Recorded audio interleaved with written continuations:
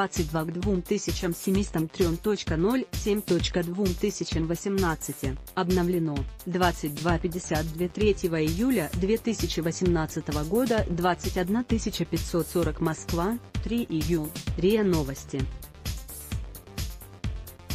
Российская военная полиция выставила дневные наблюдательные посты для поддержания порядка в сирийских населенных пунктах Эрастан, Тельбиса и Харет Тукман, сообщил на брифинге начальник Российского центра по примирению враждующих сторон в Сирии генерал-майор Алексей Цыганков. Для обеспечения правопорядка в населенных пунктах Эрастан, Тельбиса, Харет Тукман подразделениями российской военной полиции выставлены дневные наблюдательные посты, осуществляется патрулирование, сказал Цыганков.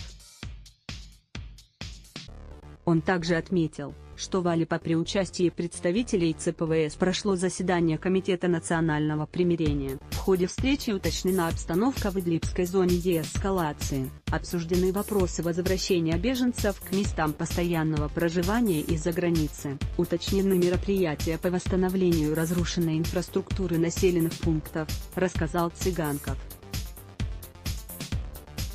Кроме того, по его словам, представителями центра продолжают мониторинг восстановления объектов инфраструктуры в пункте Елда провинции Рив Дамаск. Он также добавил, что в местной школе совместно с Центром по примирению проводится ремонт учебных аудиторий. Также был открыт класс по изучению русского языка. Развитие ситуации в спецпроекте РИА Новости «Война в Сирии».